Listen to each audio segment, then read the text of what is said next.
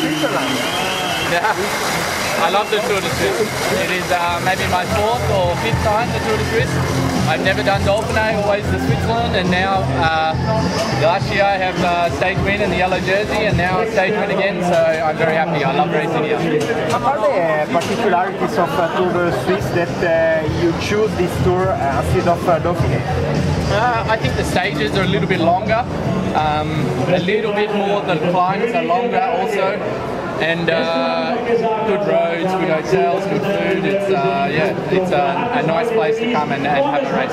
One question about uh, Nino Schurter. Uh, how is the guy in the team uh, uh, welcomed and how he's doing? He is very good. He's we didn't know how what to expect in Romandy, how he would go, but he was he was excellent. And then here you saw today he was right there with the, the front leading group, the Sagan, and he could be he could be professional road rider any day.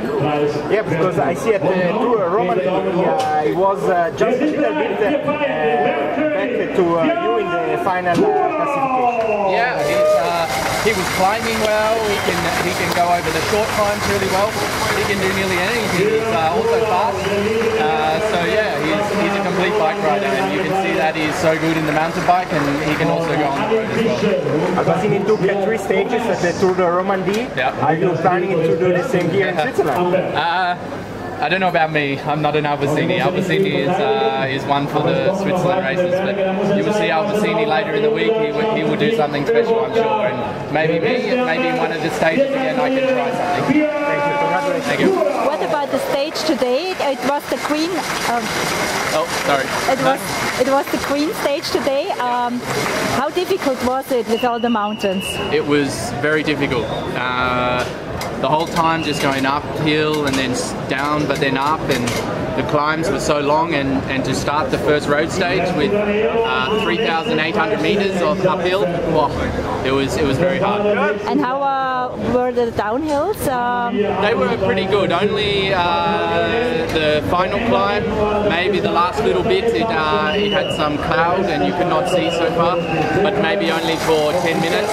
And besides that, it was quite good. You had some problems with your bike? Yeah.